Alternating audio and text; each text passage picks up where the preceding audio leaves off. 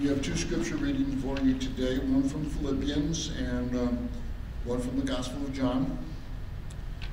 Philippians tells us, I'm not saying this because I'm in need, for I have learned to be content, whatever the circumstances.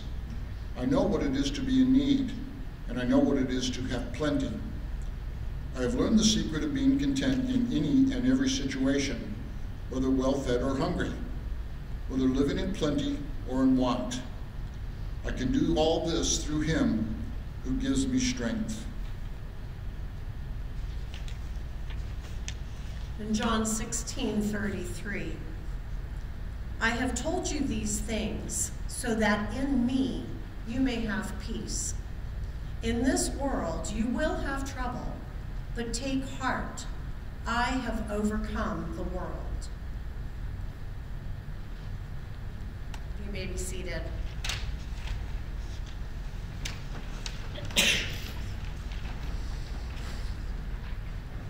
Today we're going to talk about adversity. All of us, we know what adversity is. We faced it a lot in our lives. I'm going to start with telling you a story about an old farmer. Old farmer's out in his fields working, putting around his property when he hears his mule starting to bay horrible. Horrible noise from coming from his mule, and he starts trying to follow the sound to find out what's going on. Well, he finds the mule. Come find out the mule had fallen down the shaft of an old abandoned well, and he was down there. Well, he had no way to get this poor mule out of there, so he decided the best thing to do is just basically fill in the hole. And, you know, uh, so he gets the rest of the family and Don't they, call Pete it, it's a story. so he gets the rest of the family and they grab shovels and they start digging and filling in this hole to try to end this whole situation. But uh, what they don't realize is as they're shoveling this off, every time a pile of dirt falls on the mule, he just shakes it off and it's settling to the floor. What that's happening is the floor is getting higher and higher. And he keeps stepping up. So they keep shoveling in, not realizing what's going on. Next you know, the mule just steps out of the out of the well to safety. Now we all face adversity. It's not a question whether or not we're going to face adversity. It's a question of how we're going to deal with it. Clearly, the mule found a way to deal with it. He's got dirt thrown on him. They're going to bury him, and he just used it to step out. How many of you know who Frederick Nietzsche is? How do you know? Uh, can everybody hear me okay? No? I'm going to turn this up now. Frederick Nietzsche is a philosopher. He's actually kind of a brutal philosopher, really. Okay, the Nazi used a lot of his, uh, his teachings in their philosophy. So it's not somebody you really kind of want to emulate. And he was an atheist on top of that. But he did say something that stuck with me once, and I think it's very true when you're dealing with adversity. That which does not kill us makes us stronger. It become a very famous saying. But it's also very, very true. Now, on the other side of that, there's another philosopher, a missionary named Oswald Chambers.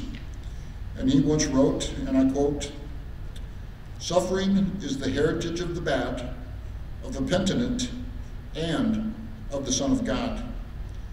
Each one ends at the cross. The bad thief was crucified, the penitent thief was crucified, and the Son of God was crucified. By this we know the widespread heritage of our suffering.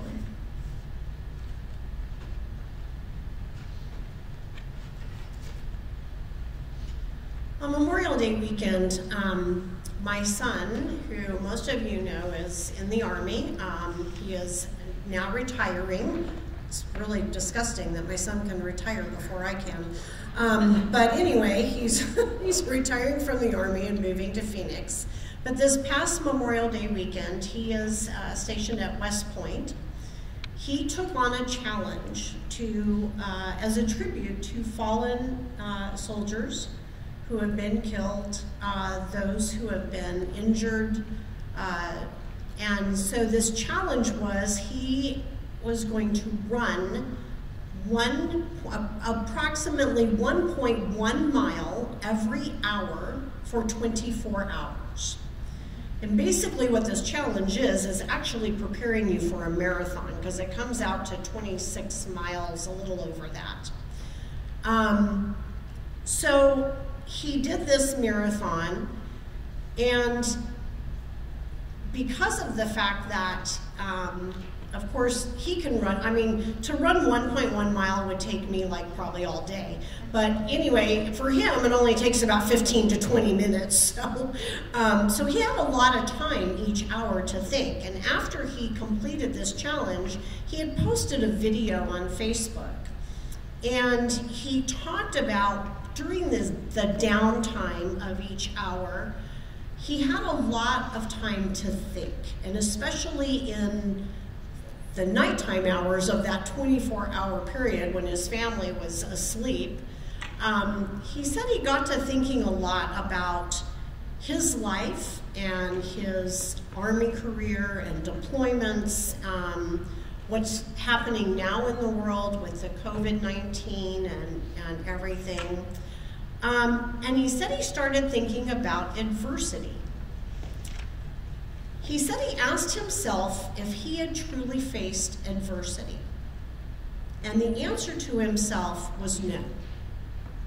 Now, I was absolutely shocked to hear this because, not just because he's my son, but this is a man who has been through three deployments, in, injured in a bombing in one of those deployments, lost a team member, um, and suffered for about a year some pretty bad PTSD from that bombing.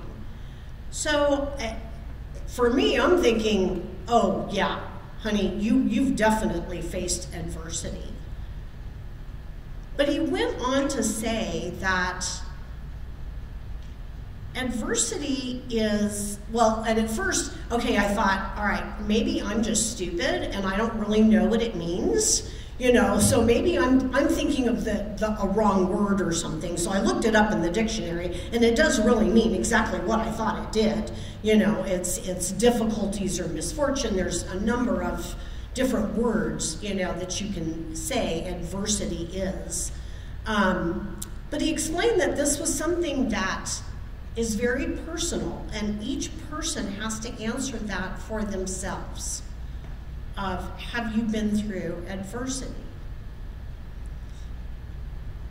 So it got me to kind of thinking about it in my lifetime and through different marriages and things that have happened in my life. And I started thinking about it, and I've come to some conclusions about adversity.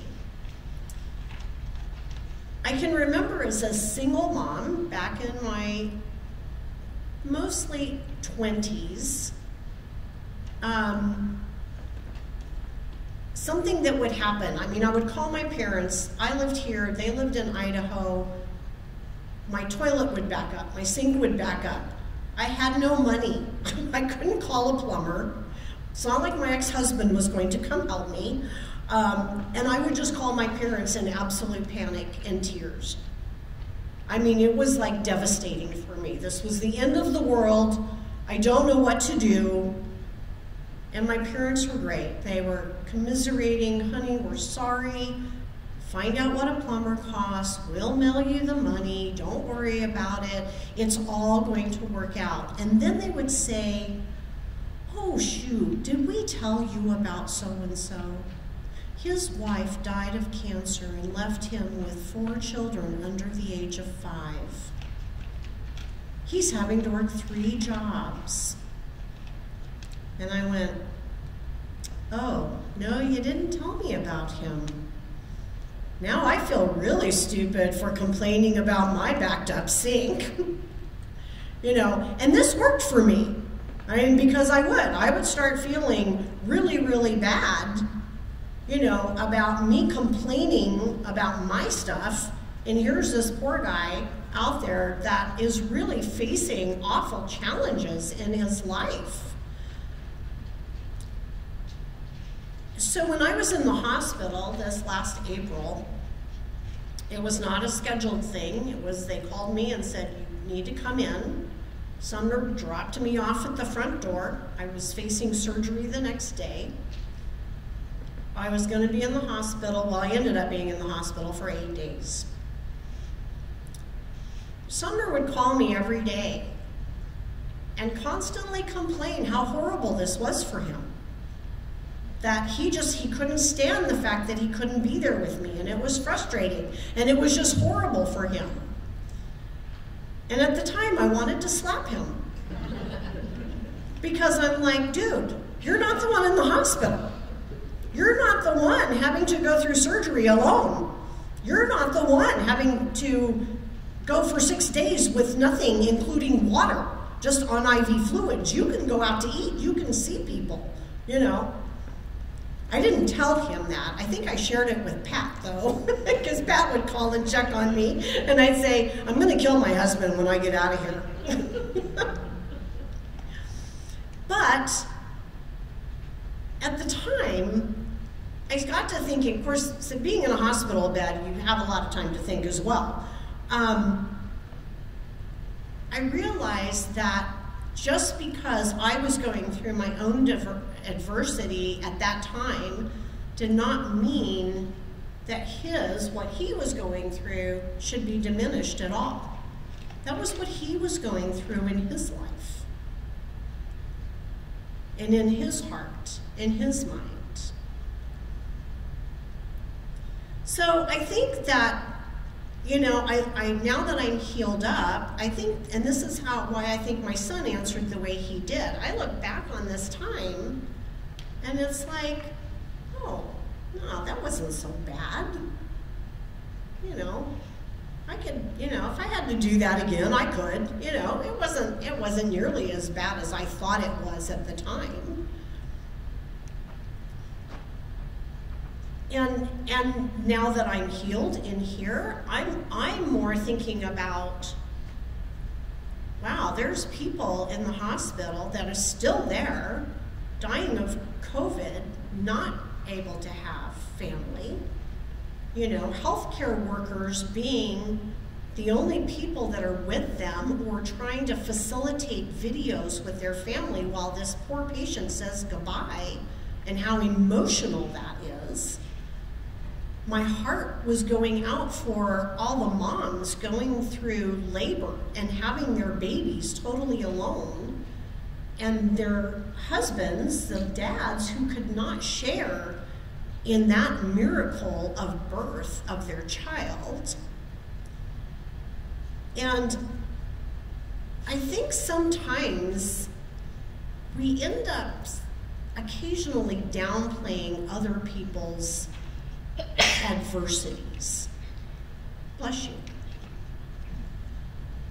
And and sometimes I think we even downplay our own adversities. Now, what my parents used to do, I don't think people do it intentionally, but yeah, my parents used to try and remind me to be a little more positive, to realize how truly blessed I was by bringing up someone who was really going through tougher times than I was. Um, and for some people, that works really well. But it can also backfire on you. So I think that that is something, too, as Christians, we really, really need to be very I think, a lot more understanding of what other people are going through, even though we might feel in our lives that, oh, well, that's not so bad. I've been through worse things than that, you know. No, we need to be a lot more understanding, and that and that's difficult. As humans, that is difficult, especially depending, like when I was in the hospital, what your state of mind is at the time. Um, Sometimes all you can do is listen. You can't fix it. You can't really make it better, but you can listen and be there.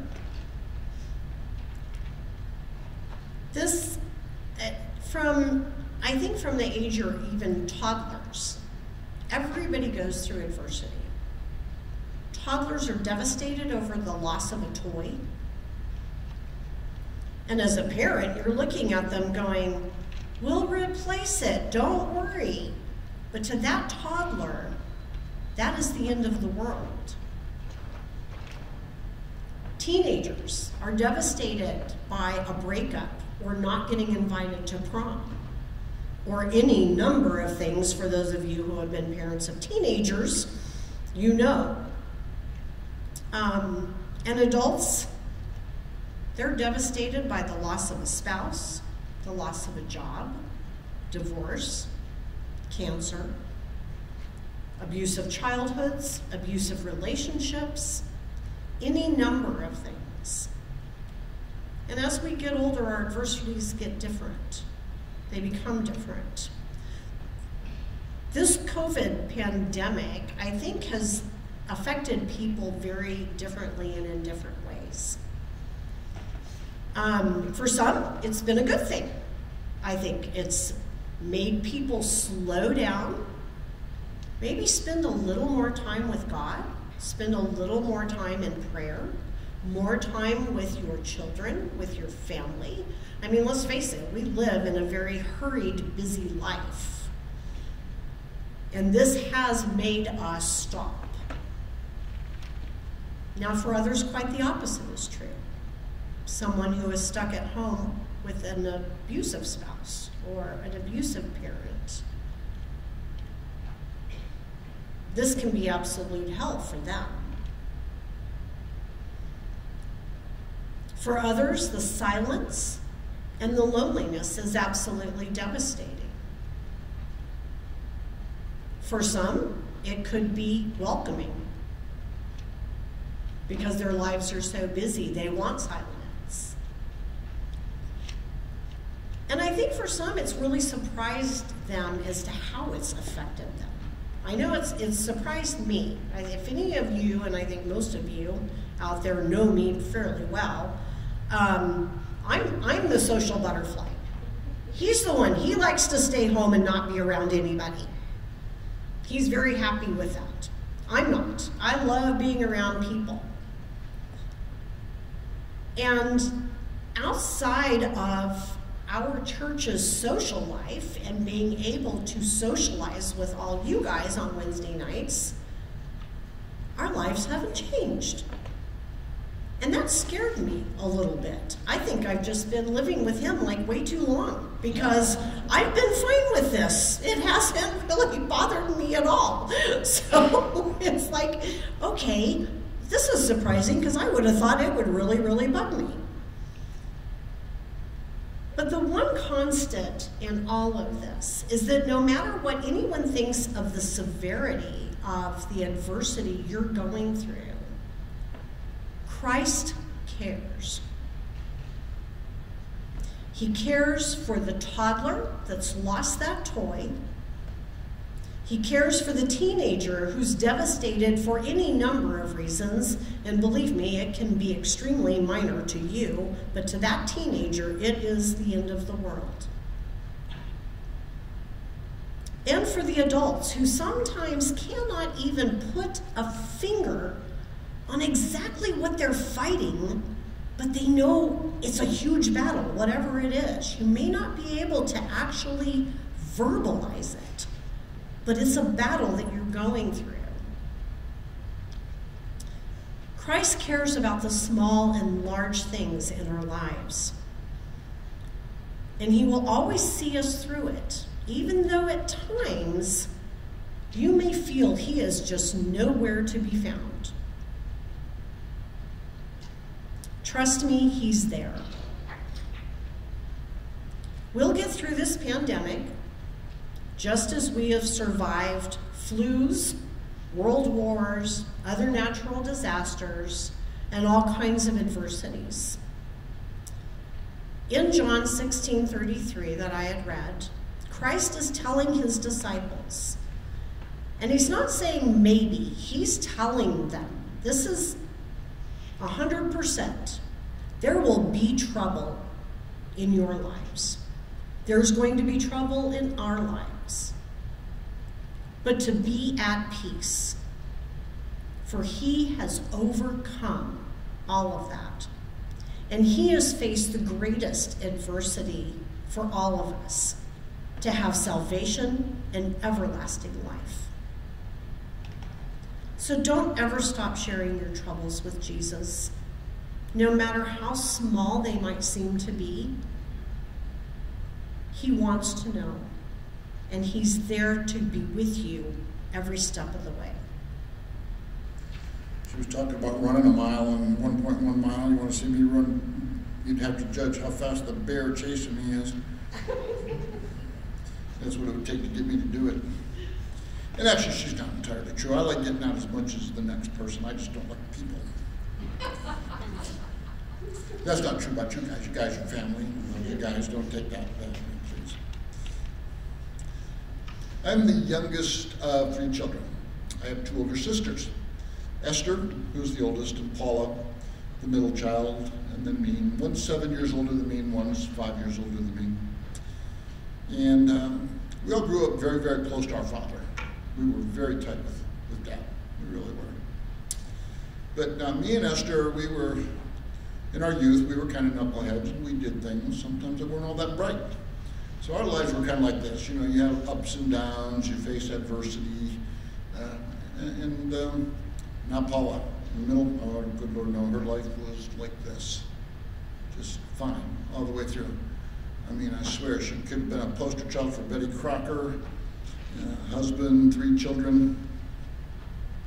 Then our dad got sick in the late 80s. He was diagnosed with cancer in 1986. And uh, ups and downs with that. But give you an idea how, I mean, Esther, Paula and her husband lived across the street from my parents. They bought a house across the street after they got married. So they never, she never really left home. Well, then after dad got sick, though, you know, that, that progressed. You know how cancer is. Well, he was actually in hospice at the house, and he was at one point even in and out of a coma. It was really pretty, getting pretty close to that time frame. I was in the Army at the time. I was stationed at Fort Bragg, so I was not at home. Well, all this is going on. One day, her husband of 22 years and the father of her three children came home from work, told her he was in love with somebody else, and he packed his clothes and he left. All this going on at the same time, my father is clearly, you know, um, on his deathbed. She couldn't handle it. She fell apart, and I do mean fell apart. She was actually a shut-in for a long time. Created a lot of, created some animosity, I should say, between uh, her and the oldest, my oldest sister, and even my mother to a big extent because uh, Paula just wasn't capable of doing anything. I mean, nobody could really depend on her for anything during this time frame. And actually, even to an extent, I was, I was upset about it. When, um, when my father actually passed away, I was in Honduras. I deployed to Honduras. And so they flew me back, and um, like I said, she just couldn't deal with anything. For a long time, people in the family held that against her. And I don't know why. I mean, it's just that she wasn't prepared for it. All of us go through those ups and downs in our lives. And actually, it trains you. You have to understand a couple things about adversity. No one is exempt. At some point in your life, I don't care how perfectly it's going, you're going to face adversity. You're going to face those trials. We've all heard that adversity builds character.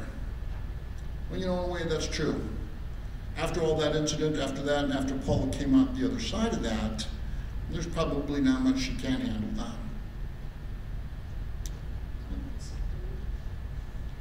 Yeah, she's a cancer survivor herself and has gone through a double mastectomy.